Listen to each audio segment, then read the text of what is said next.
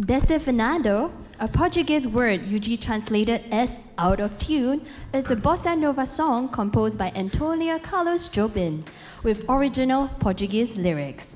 The song was voted by the Brazilian edition of the Rolling Stone magazine as one of the top 20 greatest Brazilian songs. So let's welcome the performers who will be bringing you their interpretation of Desafinado.